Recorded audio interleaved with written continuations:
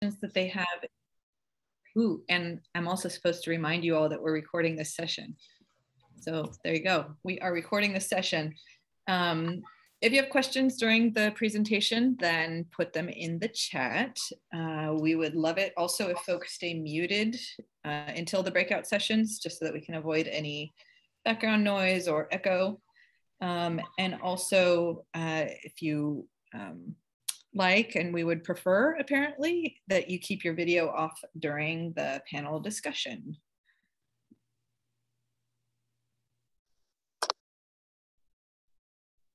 And then looking at the time here, we're at 5.04. Should we go ahead and officially get started? What do you think, Diana?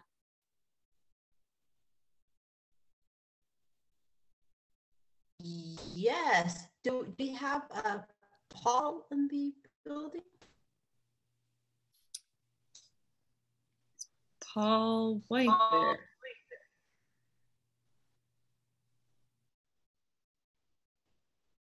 Scrolling through the participants.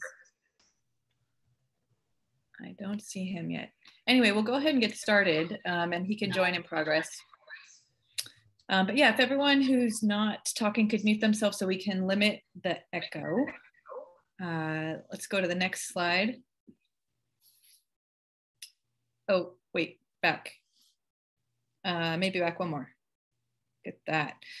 Uh, okay, so for those of you who don't know, my name is Shiloh Ballard. I run the Silicon Valley Bicycle Coalition. Welcome to another one of our monthly Biketivist forums. Uh, here we have some Zoom basics, which I just went over. Uh, love for you to name yourself so that we know who you are in, in the little Zoom box. I want you to also, if you feel comfortable, uh, putting your pronouns there and then also the city that you hail from. Uh, as we're going through today's presentation, we'd love it if you would ask your questions in the chat Again, please stay muted until the breakout sessions and keep your video off during the panel discussion. Next slide. And then uh, just some general guidelines here that we want folks to just be aware of how much space you're taking up. You all have heard this, make space, take space. Um, just be cognizant of that uh, and try to make sure that folks who aren't speaking up, especially in your breakout rooms, have an opportunity to speak and feel comfortable. Um, be respectful of one another and our differences, don't interrupt, um, stay on topic, and of course, always assume good intent. Uh, next slide.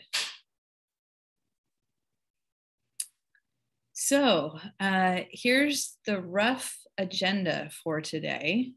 Um, love it if folks could put in the chat who they are and what micromobility device you are most curious about. So let's get started. It is, is it for me? It's those one wheel thingies, like hoverboard thingies. I have no idea how people ride those things. Um, so we're going to start with introductions, five to 505. Uh, then I'm going to hand things off to Emma Shlaes, who uh, has recently left SVBC to work for commute.org. Sad about that, but super happy that she's going to give us an overview of the history of bike share. Um, and then we're going to do a micro, micro mobility panel Q&A with some really, really awesome folks who are uh, on the Zoom with us today. Um, for those of you who are here, you probably are curious just like we all are. Uh, you know, you've noticed as we're riding in the bike lanes that there are more things that are not bikes that are in the bike lanes. And um, sometimes there's scooters on the sidewalk, sometimes there's um, electric bikes in the bike lanes and they're going really fast. And we're all trying to make sense of this and figure out how we advance our common agenda together.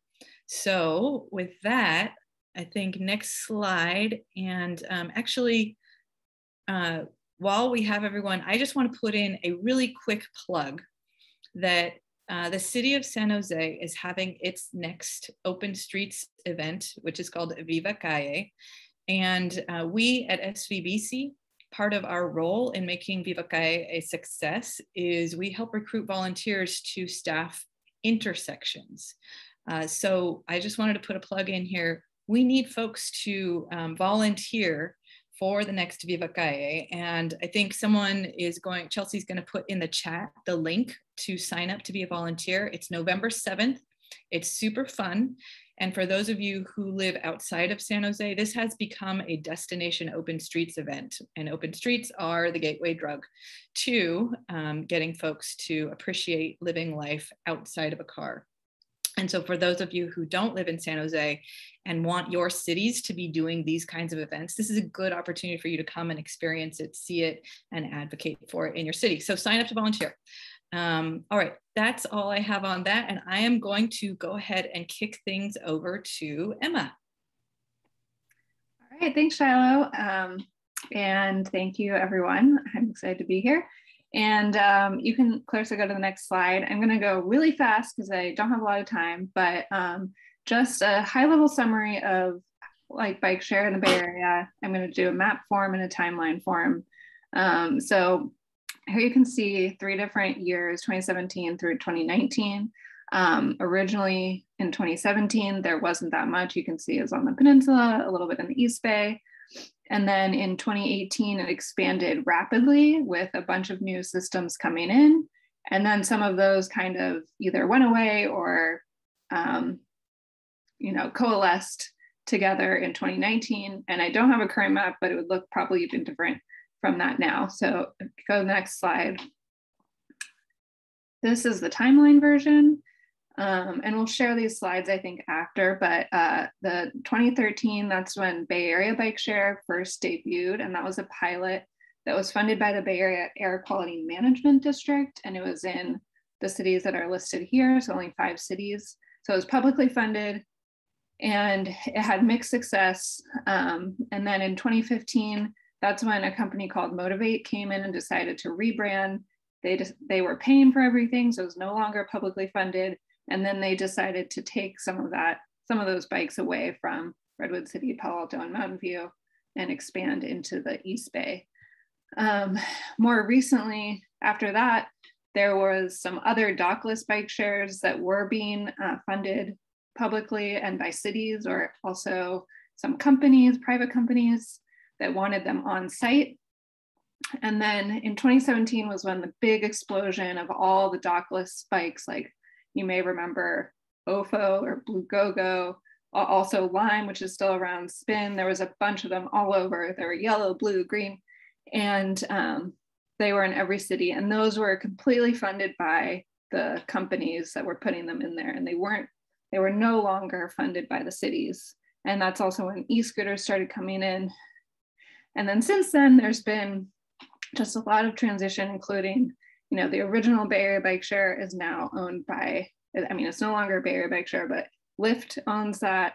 Uber bought Jump and then turned it over to Lime. So there's just been a lot of consolidation and changes, but also a lot of those big dockless bike share companies went away. And so I'm excited to hear more from the presenters tonight. Um, if you go to the next slide. Um, this is just showing, this is only up to 2018, but showing like how much more trips were on micromobility. And that's when particularly scooters came onto the scene, but also dockless bike share. So there was like the more traditional station-based bike share. Um, and then when dockless bike shares and scooters came on, that's when it really went up. Um, I'm not sure what it looks like now, but next slide. So um, I'm going to skip over this, but I'm going to share a link to a letter that SVBC wrote with Transform, East Bay, and SF Bike Coalition a couple years ago that we had some recommendations for where the region should be going in terms of bike and scooter share. And we wanted to expand um, funds for equity purposes for bike and scooter share, continue expansion communities of concern, continue the low income discounts. Um, if you go to the next slide. Also um, had some recommendations for cities permit programs. So not every city had to reinvent the wheel. And the next slide, um, some recommendations for how cities could create safe spaces for micromobility. So I'll share the link to that so you can review that in more detail. And I will turn it back over now to Jennifer, who will be the moderator for our panel. Awesome. Thanks for uh, going over all that. That was really informative. Um, so we have a great lineup of panelists tonight, and we're already seeing some really good questions in the chat. So please feel free to keep um, throwing those questions in there. And, um, you know, I think a lot of these things we'll hopefully touch on as we get through the discussion, but let's start by um, introducing the panelists. And I guess I'll go first. Uh, I think there's a slide with everyone's name on it. Yep, so I'm Jennifer Fierman. I am your moderator. Um, I'm a transportation planner. I've been planning for 15 years. Um, uh, originally from Florida, moved to the Bay Area in 2018, and um, I currently work at a tech company that does uh, big data for transit. And how about Bivett next? Hi, everyone. My name is Bivett Brackett. I currently am the Senior Manager for Government Relations with Lime and I come from the community space, and I'm excited and honored to be here with everyone today. And Neal? Uh, good evening, folks. My name is Neal Patel, uh, Community Affairs with uh, Bay Wheels. And uh, I've been with Bay Wheels for about two years. Um, thanks to Silicon Valley Bike Coalition for putting this event on. Um, y'all have been um, super resilient in kind of adapting to COVID, and I really appreciate these uh, these online forums and the opportunity to connect with folks. Uh, I've been working uh, in the Bay Area for about 15 years now, San Francisco Bike Coalition, City of San Francisco, and now uh, for Bike Share. So uh, I've been working on the issues from all different sides and uh, happy to be here. Thanks. And Bob. Everybody, my name is Bob Walsh, and I am with Bird. I do uh, I work with local governments and with do some community outreach. Uh, been involved in shared micro transportation. I believe October, if I'm counting right, is my fifth year in uh, uh, working with this. First with a company called Scoot in San Francisco, and then Bird bought Scoot, and I am with Bird. And I have been in San Francisco for more than 60 years. Wow. Thanks. Whenever you say that, I always wonder if you said six zero, right? Six zero. Oh, that's amazing. Um, and did did Paul make it? Oh yeah, there you are, Paul. Please introduce yourself. I can anyone hear Paul? Is it just me? Sorry about that. Yeah, Paul Paul White with Superpedestrian. We run the Link scooter fleet, and uh, thanks for putting this on today. Awesome. So um, not super structured here. So I have a, a short list of questions and uh, folks can feel free to jump in. I mean, folks by by folks, I mean our panelists. Um, so the first question, this is an easy one to get us warmed up. For your company, what does micro mobility mean? And I think I'm gonna, I'm actually gonna call on Bob first because you mentioned something about um, serving people with disabilities. So um, just kind of curious, what does micromobility mean for Bird? I am muted. I caught myself. Um, Good job. What, so, what does micromobility mean for Bird? Um, you know, really, to be well. First of all, the thing I was thinking about micromobility is actually. Um, was going to say that uh, it's kind of like those little cars in the circus where you have a tiny little car and about 16 people can fit in there. And I was actually going to say that next year, Bird will be introducing our little jitney service where we will be hauling around, you know, 20 or 30 people in a teeny tiny car and spitting them out. But actually, that's not what we're going to do. Uh, that is not what we think of as micromobility. But really, what micromobility is, I think the way that we define it is a is a small vehicle, you know, for an individual, maybe for two, that is um, that's electric, right? That's that's clean powered, and that is available for uh, folks to use on a you know on a rental basis and typically on a one-way rental basis right so they can find one on the street grab it take it to where they want to go and then leave it where they go and then somebody else can use it after that. Great. Um, how about Neal? What does micromobility mean to um, to Lyft and bay wheels? Um, you know, I'm going to focus a little bit on the word just mobility because um, Lyft, we are a lot more than the micro. Um, you know, our mission is to improve people's lives with the world's best transportation, and we do that in lots of ways. Um, you know, I work for the Bay Wheels team, and we have a whole transit bikes and scooters division within the company. Um, and, and we're, we're, we're doing lots of things. You know, we're trying to get our apps to be integrated so that um, you can get a ride share, you can also get a bike, or you can get a bus pass. Um, I focus on the bike share component, and uh, for us, that means providing excellent and ubiquitous and affordable bike share service um, to five communities in the Bay Area for now um, San Jose, Emeryville, Oakland, Berkeley, and San Francisco. Um, you know, we are one Bay Area, and so uh, it's it's a, it's rewarding that we have this service that that spans kind of the whole Bay Area, and really um, we put a big focus on connections for transit and connections into neighborhoods and destinations. Um, you know, the world, I think, kind of at the top of this presentation, um, you know, I think that the picture that was painted was just a lot of change and evolution of how all of this stuff works. And, you know, I don't think we've seen anything yet. Um, I think there's a lot of stuff on the horizon with technology, with devices, um, with expansion, um, hopefully with some more public subsidies to help support this. And um, I'm, I'm excited to, to be here with you all as we move forward. Thanks. All right, Bivett, for Lime, what does micromobility mean? And you're muted.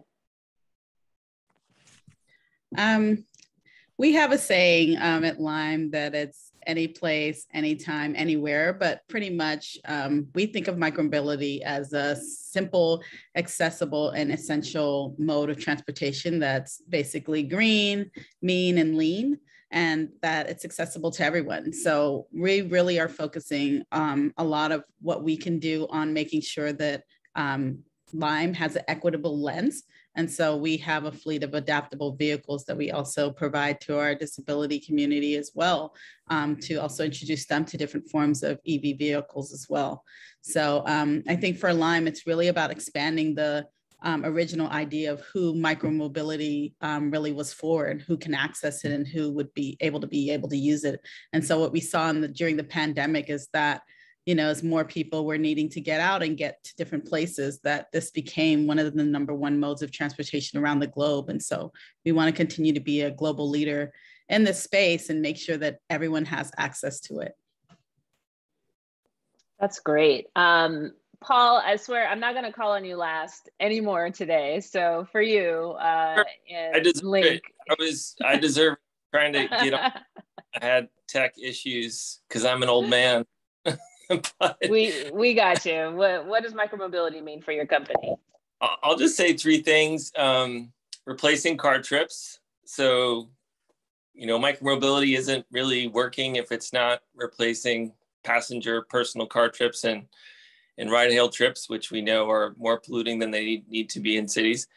I think um, integrating with transit is a big one, right? Are we really going to be a first and last mile solution? That means operating a service, you know, viably and hopefully profitably and the hinterlands, you know, outskirts of a city where we only might get, you know, less than one trip per day per vehicle.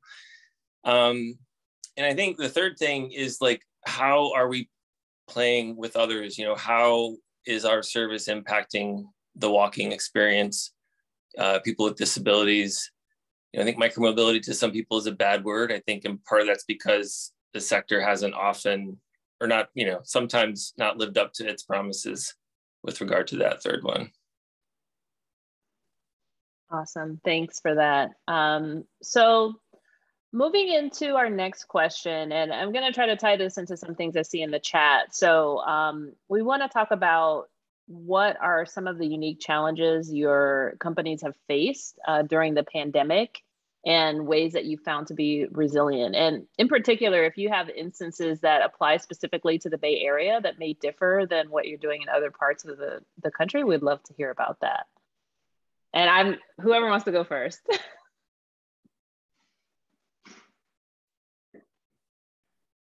I'll jump in. ladies first, ladies first, you know.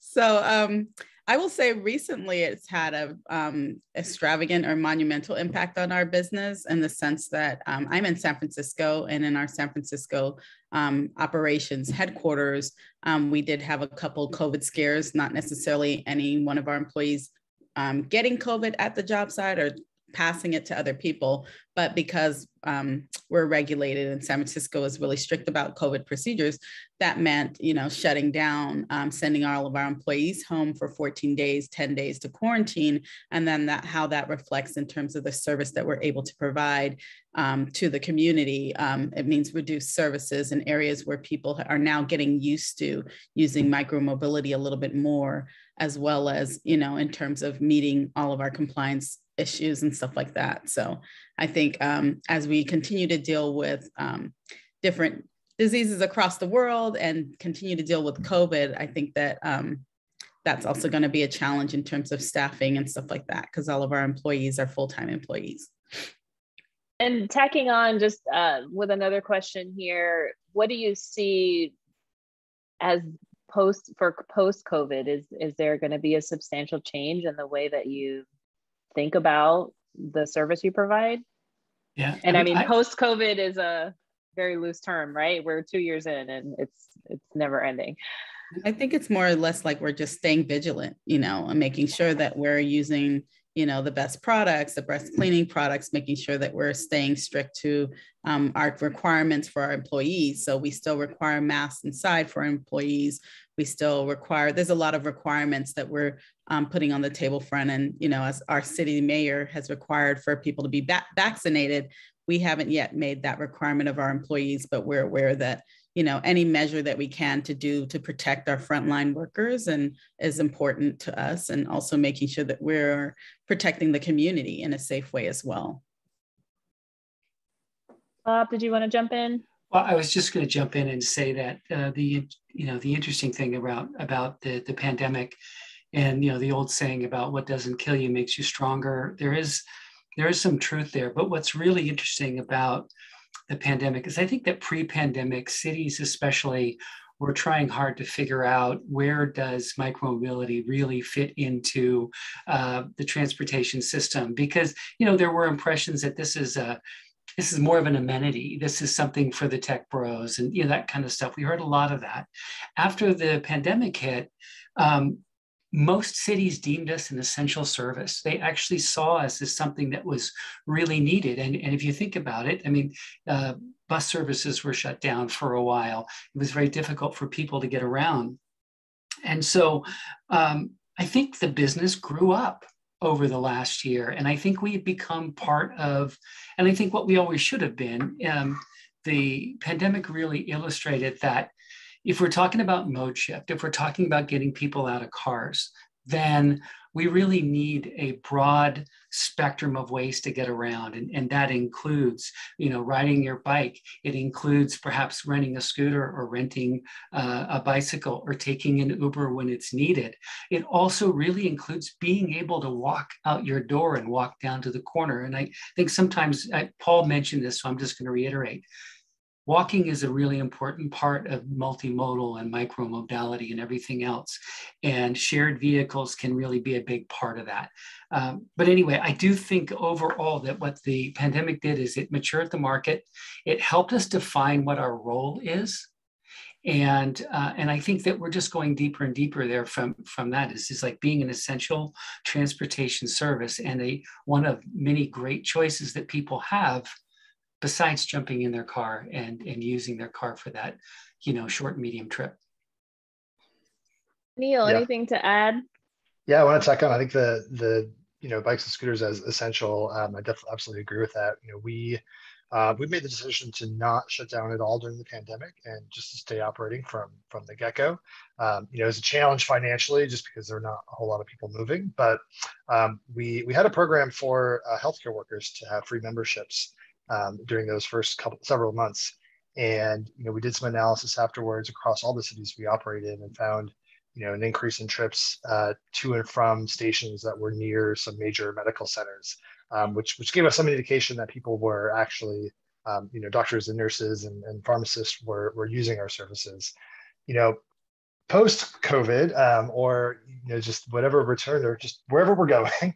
Um, you know, it's going to be interesting. Uh, we, I, I, a lot of my work focuses on our expansion efforts. Um, you know, so we are not even yet done um, with expanding the number of stations we have in the region. Um, we're only expanding in San Francisco right now. Every other city is kind of built out more or less with, with adjustments and tweaks as needed.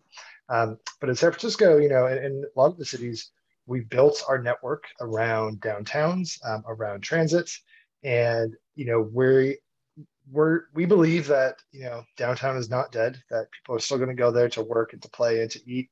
Um, and so we're not making any major changes to how we plan our bike share network, but uh, we are vigilant. We're watchful. We're going to take a look at the data and see how things go because uh, you know we might need to adjust where stations are to meet people's needs. Um, fortunately, you know while it is expen- somewhat expensive to move a station, you know they're not bolted into the ground. Um, they are they're relatively easy to move, and so we can be pretty nimble in that way. I think in a way that you know a freeway uh, or even a you know a subway line can't be.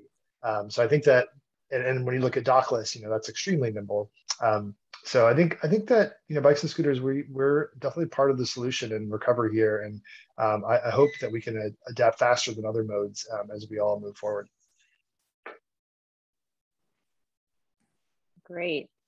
Um, does anyone else have anything to add about kind of the pandemic effects on on the way we've been operating? If not, we'll um, kind of jump into some more some more topics. Um, the question is is about how your company deals with um, this has a lot of things in it so pick your poison uh, the destruction of property misplacement theft etc and so i think the focus of this is kind of around where these devices operate where they are parked like all of those things and I, have seen a few questions in the chat kind of surrounding those topics so um, I don't know who wants to go first. Neal, Bay Wheels, bikes.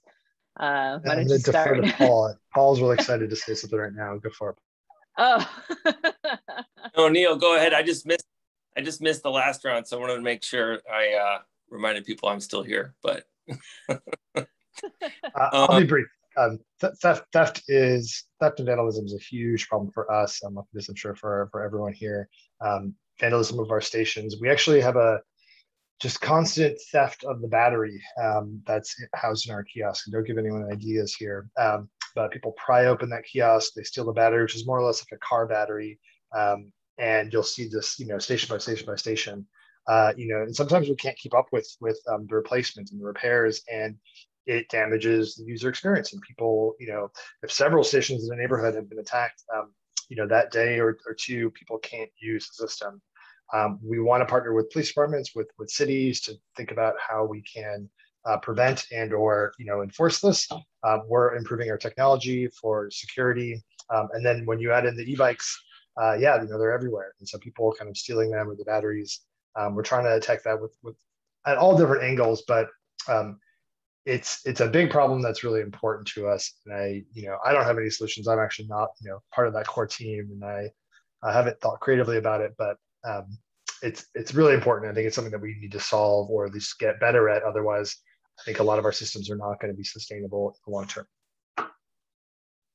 That's interesting. And I mean, if anyone has perspective on some of the dockless options and kind of what happens, what the challenges you all face with those, I think we'd be really interested to hear about that too. I mean, I think a lot of the challenges related to this, um, you know, we've seen a lot of tech solutions thrown at these problems, but you know, we found that the decision, you know, we made pretty early on to not do any gig uh, labor and hire W two living wage employees across the board um, has made a big difference in terms of fleet management. You know, chasing down errant scooters, um, getting the like granular level of block by block knowledge to like inform our fleet management, and ultimately. Um, I think that's proven, you know, just good for our bottom line in terms of like reducing our loss rate and improving some other things about our business. So, and I think we're seeing like that's, I think that's a trend in the industry now um, of moving away from gig, which we might all agree is a good thing.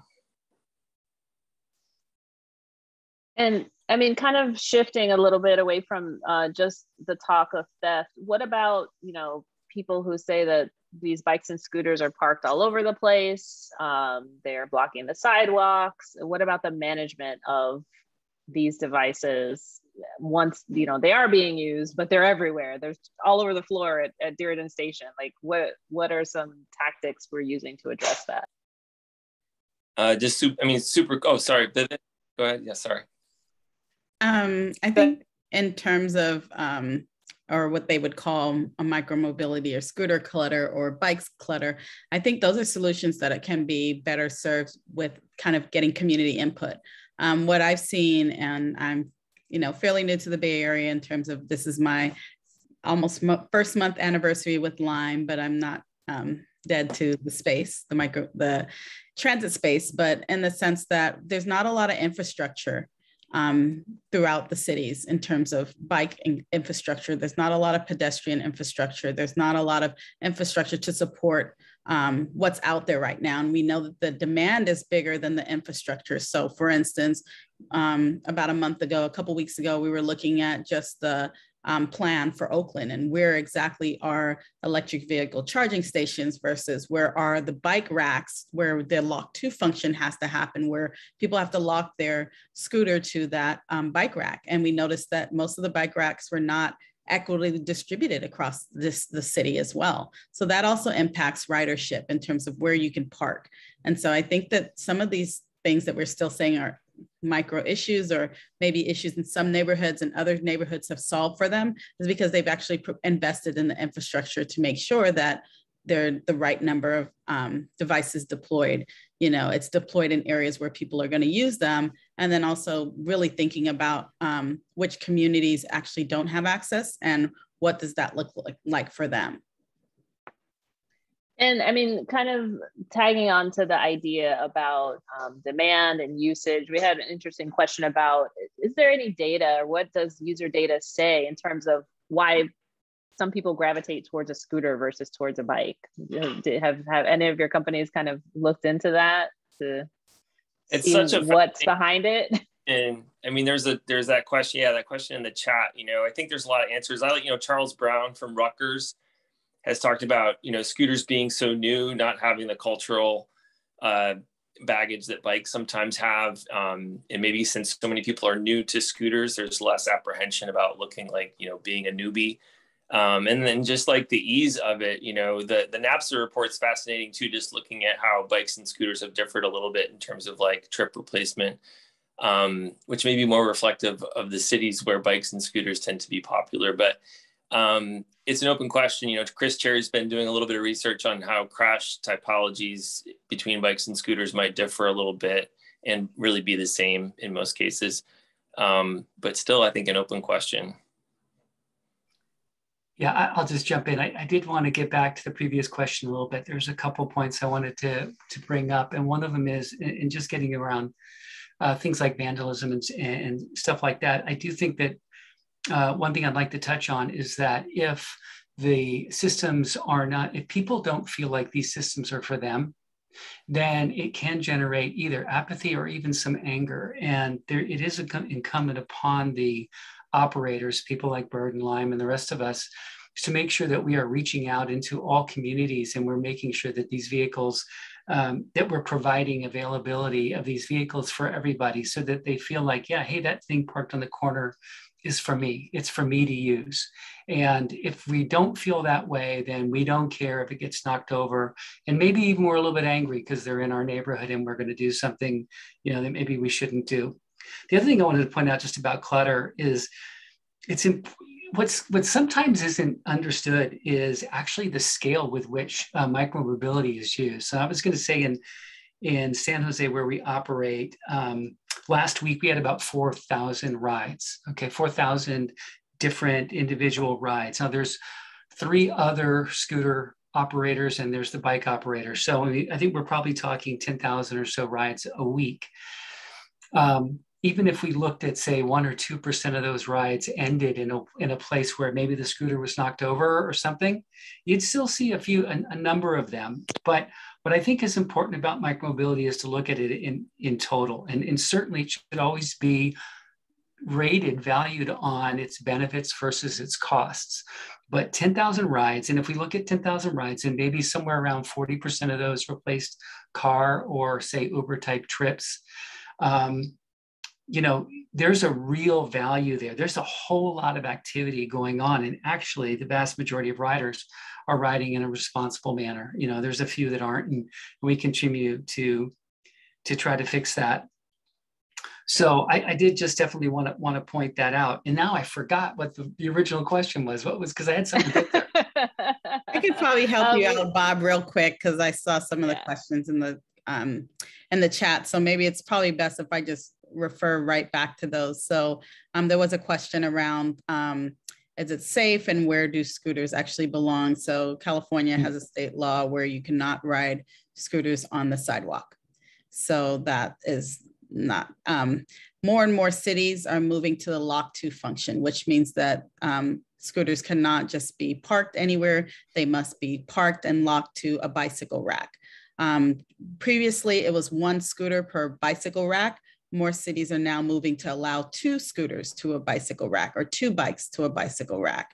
Um, there are other um, systems that are out there. Um, Lyft enjoys, um, they have a multi-bike rack that they can use as well. Um, as far as um, charging stations, what Lime has done is we now have swappable batteries. So we no longer have to you know, go take our take our scooters or bikes off the road and put them onto a charging station, et cetera. We have um, fully swappable batteries.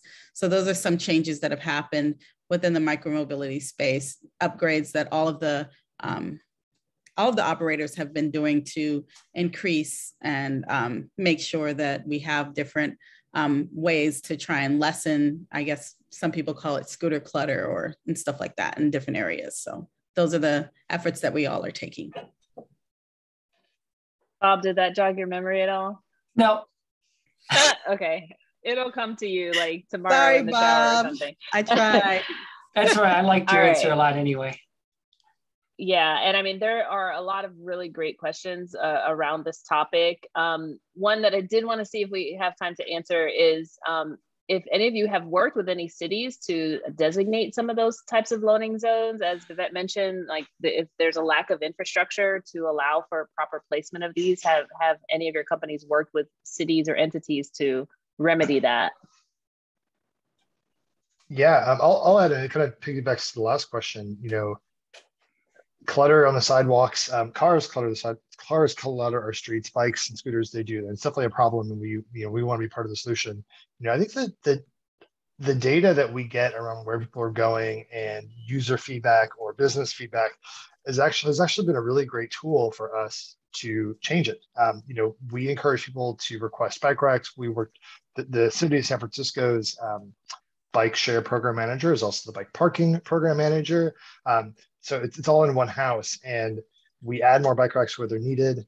Um, we add them in, in neighborhoods where they don't even have any. And, you know, yes, it can be a problem initially, but, um, you know, other than people going around and counting the number of bikes that are tied to racks, um, you know, we actually have a nimble solution to to solve it on the on the fly. I think. Did uh, you, oh, go ahead. Oh, go ahead, Paul.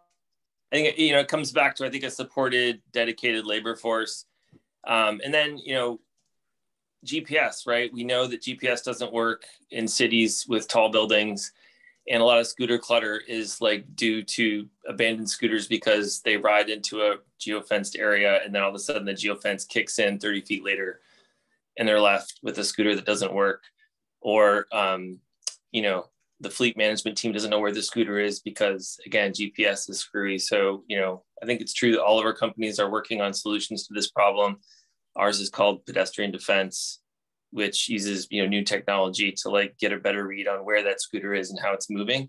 But um, i think this is probably the biggest existential you know challenge facing the industry. You know we don't even have a chance to make a profit if we don't get a permit and cities are looking at you know too many complaints still on you know scooter clutter. And it's true that cars do a lot more damage, but scooters are new and they're really close to pedestrians.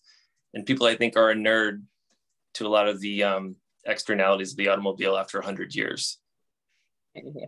I guess I was just going to say that the appetite for scooters has also grown during the pandemic for a lot of the reasons that Bob, Neal, and Paul already said. Um, but also, um, one of the other ways that scooter use has grown is um, in our essential workers in the food business in terms of delivery service, Um, a lot of people didn't have ways to make income during the pandemic and went towards um, being food deliverers for like people like DoorDash, et cetera, and those companies. And um, I know we actually gave free rides to um, essential workers in that food space because we recognized that those were a lot of times um, workers who were laid off and that was their only mode of being able to get income during the pandemic. And so there is kind of this balance that's going on in terms of increase in demand as well as usage. And so um, if you look at any study or even just Google micromobility since the pandemic, um, you'll see that there's been an exponential increase in rides um, and from across all of the carriers. This has been really great. Um, I want to jump into the next topic because I know we're we're running short on time, and I want to make sure we get to talk about this. So I want to switch uh, gears and talk a little bit about um, some of the equity and inclusion considerations your companies have implemented, uh, specifically around access for low-income communities and you know access for people who may not have uh, the proper payment method or smartphones, things like that. So let's get into that a little bit.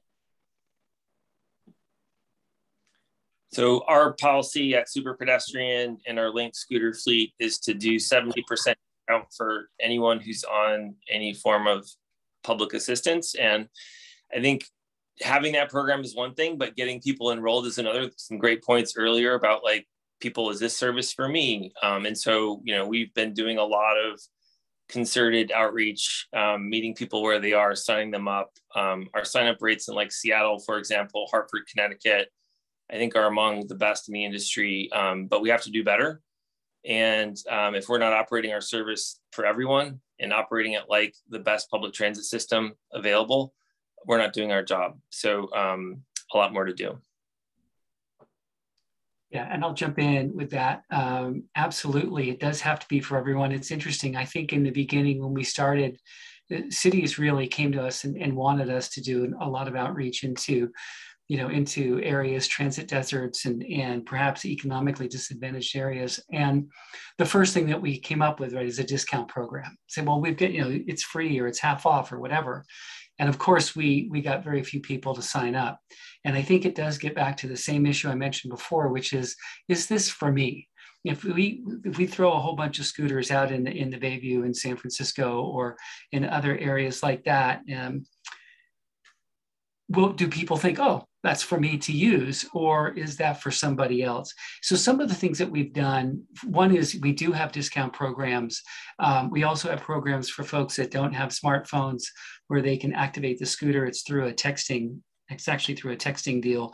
And if you don't have a bank you can actually pay for scoot credits um, through outlets that we've got that i think you go to certain drugstores and you can you know load up uh, and get your your credits that way. But the other thing is that is we need to work in the community. One of them is working with community groups, right? And that is is is going into these community groups and talking about our program um, because the, the community groups are the ones that are in a sense can be an ambassador for us to say, yeah, no, wait, this, you know, let's take the mystery out of this program. You can use this program. This is something that can work for you.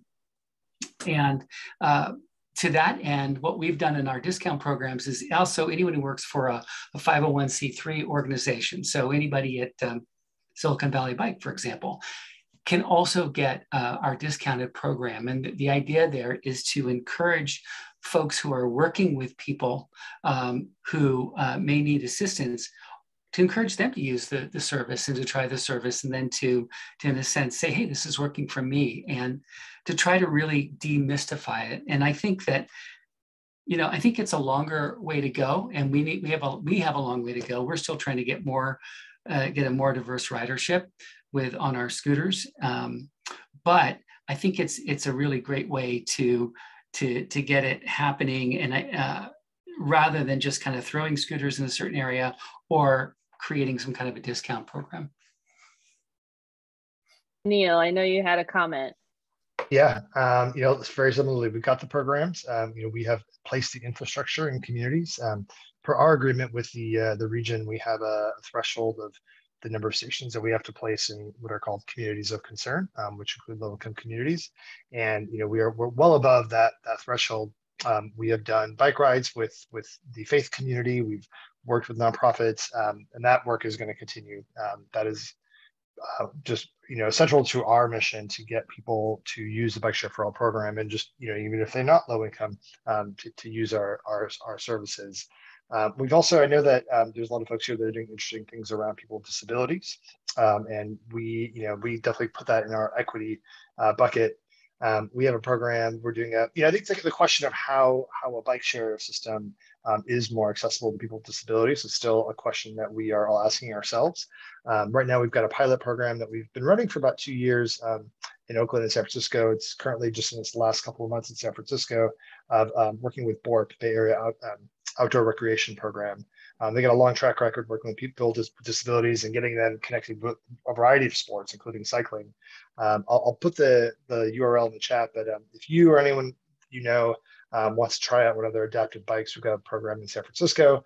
You know, we're evaluating and learning um, what people want, what they need. Is this a recreation system and or transportation? How, you know, some, sometimes the devices are very specific to the person with their very specific disability. Um, and so we're definitely asking ourselves a question of how we can learn from that and, you know, apply it to a, a system that is region wide. Thanks. And I know we're almost at time. So I've seen that we're just about at 550. So I'm going to make this last question like lightning round, three words. Um, what is the future of micromobility?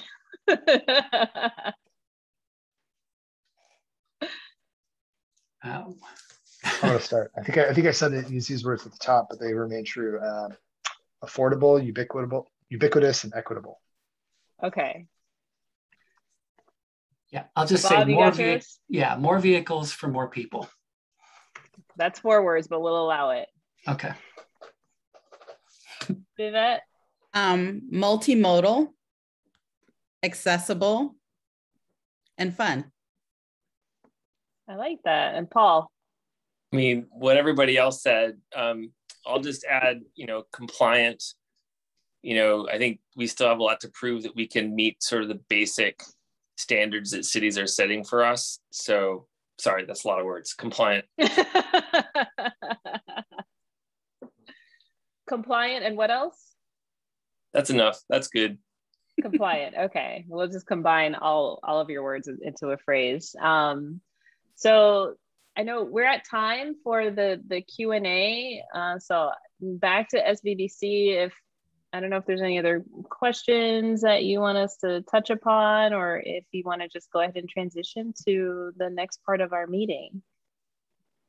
Um, I think this was really fantastic. This is Shiloh. I, I would just throw one question out there since this is our Biketivist Forum. This is the gathering of um, all of the folks who are involved in our local teams uh, and uh, at the top of the hour, we will be splitting up into our Zoom rooms by city so that folks can scheme about how to get uh, more bike friendly infrastructure put in their community. And um, I know several of you, actually all of you, um, have been really helpful in partnering with SVBC and other bike coalitions to bring more people into the advocacy space to push people to get involved in SVBC or SFBC or Bike East Bay and other bike coalitions. Um, so thank you for that. And if any of you want to just comment really quickly about, you know, how you're doing that or how you're viewing that, um, and if you've seen some really great successes out of that. I know that um, a couple of times some of you have tweeted to your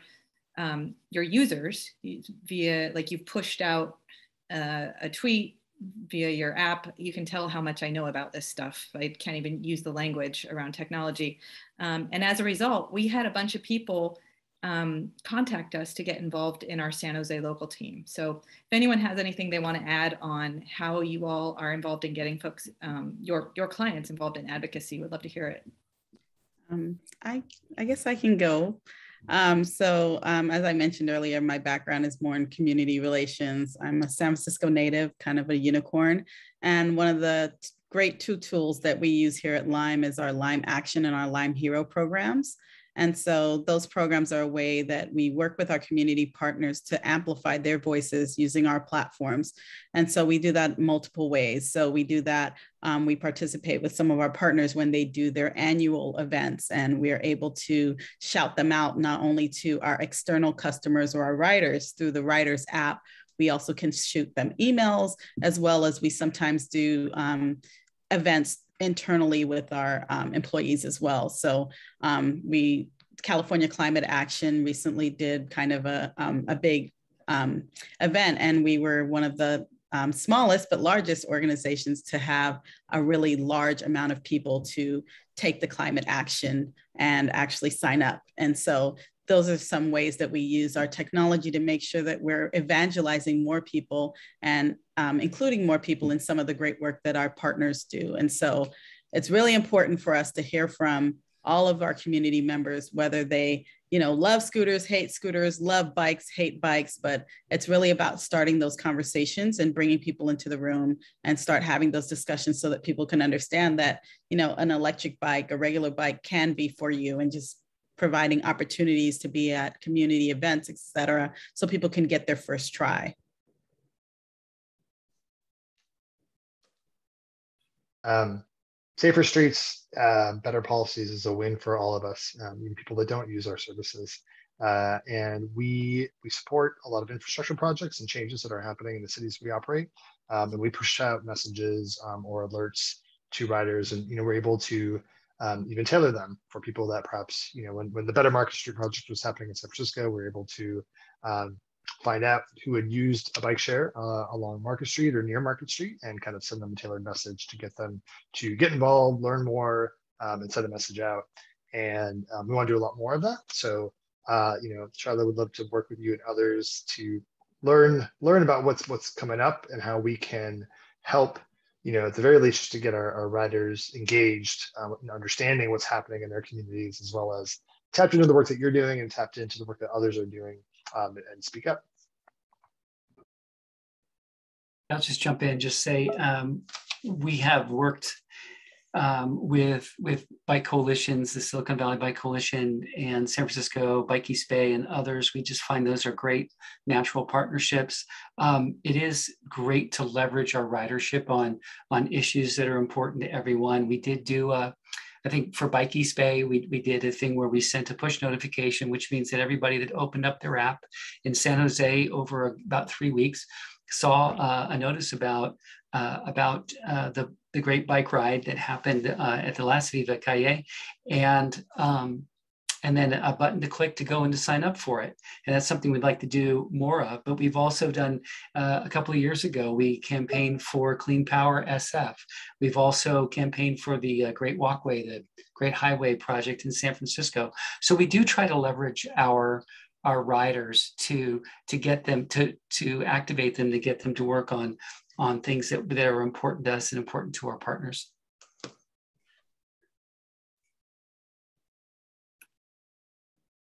All right. Anyone else on that? Otherwise, we will move on.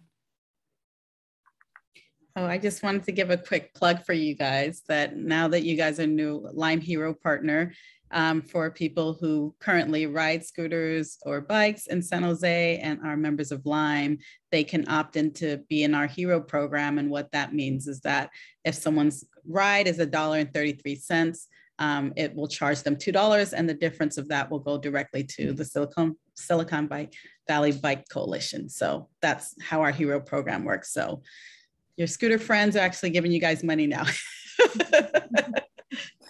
Thank you. That's awesome. All right. Well, thank you so much to all of our panelists to help inform us better about uh, micromobility and the micromobility world. And Jennifer, thank you for moderating this panel. Um, hopefully this was incredibly enlightening for everybody. Um, we have just a few minutes before we move into our breakout rooms. And um, let's see, can we go to the next slide? We have some stuff we just wanted to go over. Uh, so yes, thank you, guest panelists. and uh, for those of you who heard about this forum and you, maybe you didn't even know what SVBC was and you just signed up, um, we need you to get involved and it's super cheap. It's just $35, which is a floor, not a ceiling. Um, someone will probably drop a link in the chat there for you to officially join, but please get involved. We need everybody uh, pushing so that we can have awesome bike friendly communities. Next slide. All right, and so uh, since we have your attention, also want to highlight some uh, things that are coming up. And of course, first and foremost, we need to wish Diego Ortiz, who's a brand new uh, member of the SVBC team, a happy birthday. It is his birthday today. Um, so happy birthday, Diego. Uh, and um, just wanted to highlight some things that are coming up. Uh, we have our usual classes. We do basics um, and then a little more advanced classes on how to ride. Uh, may not be for the people on this call uh, or this Zoom, but if you know people please, that's what it takes. It takes personal outreach. One of you tapping a peer and saying, hey, you should sign up for this class and start riding more. So please spread the word to your uh, non-riding friends or your friends who just um, need to increase their bike confidence a bit. Um, we also have a ride coming up, Ride to Rancho San Antonio on the 6th of November. Uh, the link is there. I mentioned earlier that Viva Calle is coming up again. It's on the 7th of uh, November, and Cisco on our team is frantically wrangling volunteers because we um, need to find folks to staff the intersection so that people can cross some of these streets safely. It's really fun and a great opportunity, especially for local teams to sponsor an intersection. We would love it if some of our local teams would just take an intersection, adopt it, set up a booth, bring out volunteers, and um, help make sure that people have a wonderful uh, experience at Viva. So the link is there. Um, also another uh, bike class there. Uh, we also have our farm box delivery program by bike. That's our partnership with Veggielution, where we deliver fresh produce by bike to families in East San Jose. Um, and I think that's everything. Am I missing anything? That's everything. All right. Um, let's see. Let's go to the next slide. See if I missed anything. Um, Okay, our next, yes, our next forum is November 17th.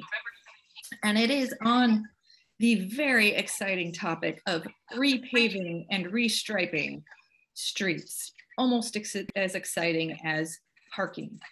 Um, for those of you on these calls, you actually understand this stuff is quite interesting and, and exciting. Um, so mark your calendars. And next slide. So now we are going to um, release you all to your city teams. Uh, these are the ones that we have set up. Um, and I'm wondering if one of our staff folks can just chime in and instruct folks on how to make sure that they can select their team. Anyone want to chime in?